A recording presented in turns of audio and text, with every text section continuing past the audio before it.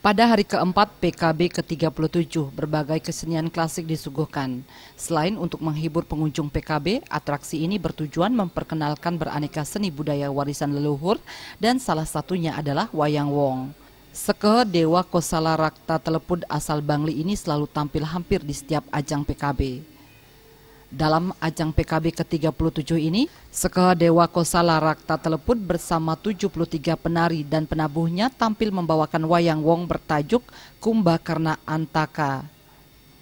Dikisahkan setelah Rama tiba di Gunung Suela, pertempuran antara Rama dan Rahwana tidak bisa dielakkan.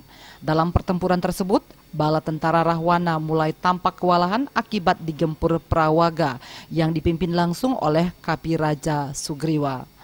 Hingga pada akhirnya Kumbakarna yang merupakan adik Raja Rahwana ditunjuk menjadi senapati yang memimpin bala tentara Alengka.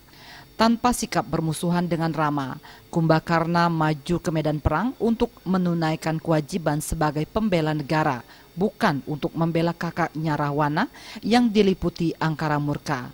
Berkat kesaktian Rama dan saran dari Wibisana, akhirnya Senapati Kumbakarna dapat dikalahkan dan gugur di medan laga sebagai pahlawan bangsanya, yakni Alengka Diraja.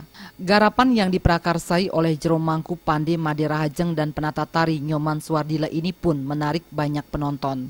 Mereka dengan antusias menikmati suguhan wayang wong, salah satu kesenian klasik khas Bali yang keberadaannya patut dilestarikan.